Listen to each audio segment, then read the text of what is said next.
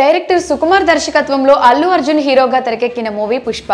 ఇందులో హీరో స్నేహితుడు కేశవ పాత్రలో నటించి మెప్పించాడు నటుడు జగదీష్. అయితే ఈ నటుడిని తాజాగా పంజాగుట్ట పోలీసులు అరెస్ట్ చేశారు. ఓ కేసులో ఈ నటుడిని పోలీసులు బుధవారం అరెస్ట్ చేసినట్లు తెలుస్తోంది. ఆ తరువాత పంజాగుట్ట పోలీసులు నటుడు జగదీష్ను కోర్టులో హాజరుపరిచినట్లుగా వార్తలు వినిపిస్తున్నాయి.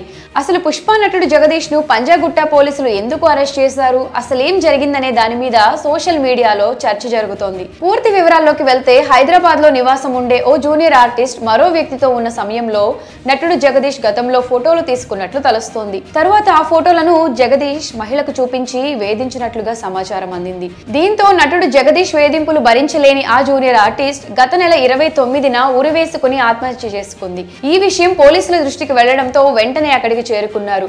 ఆ తరువాత ఆ మహిళ మృతదేహాన్ని స్వాధీనం చేసుకుని పోస్టు మార్టం నిమిత్తం ఆసుపత్రికి తరలించారు. అనంతరం ఈ ఘటనపై కేసు నమోదు చేసుకున్న పంజాగుట్ట పోలీసులు అన్ని కోణాల్లో దర్యాప్తు చేపట్టారు. అయితే పోలీసులు అప్పటి నుంచి ఈ కేసు విషయంలో దర్యాప్తు చేస్తూనే ఉన్నారు. అయితే ఈ క్రమంలోనే చనిపోయిన ఆ మహిళ మరో వ్యక్తితో ఉన్న సమయంలో నటుడు జగదీష్ ఫోటోలు తీసుకున్నారని పోలీసులు గుర్తించారు. అంతేకాకుండా ఆ ఫోటోలతో ఆ మహిళను వేధింపులకు పాల్పడిన నేపథ్యంలో ఆ మహిళ ఆత్మహత్య చేసుకున్నట్లు తెలుస్తోంది.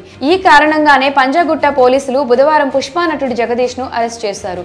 ఆ తరువాత అతడిని కోర్టులో హాజరు హాజరుపరిచారు ఈ సంఘటనకు సంబంధించి మరిన్ని వివరాలు తెలియాల్సి ఉంది. మరి పుష్ప నటుడు అరెస్ట్ వ్యవహారంపై మీ అభిప్రాయాన్ని కమెంట్ సెక్షన్లో కమెంట్ చేయండి.